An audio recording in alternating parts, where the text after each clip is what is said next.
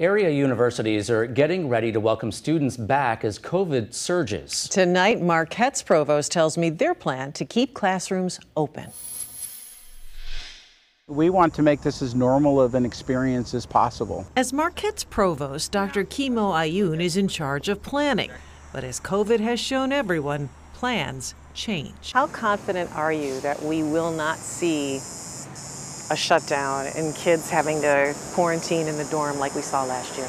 Yeah, you know, we learned a lot from the fall to the spring. But in the spring, we did not have to shut down a single residence hall. I feel very confident we will uh, cross my fingers here, but I feel very confident that we're not going to be in that same place. Not only is the virus different, but the fact that over 90% of our students are vaccinated, that puts us in a very different place. This school year, students are required to be vaccinated.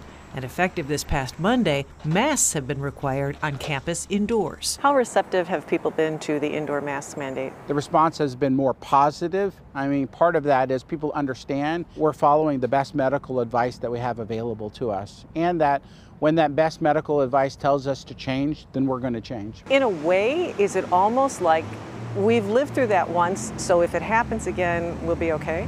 We have muscle memory. We have learned to improve our processes, absolutely. If something happens, we are in substantially better position to be able to uh, address those issues. While the entire student body of some 11,000 students must be vaccinated, it's not required for employees, though it is strongly recommended. And those who are not vaccinated will be tested regularly. Move in starts on Tuesday.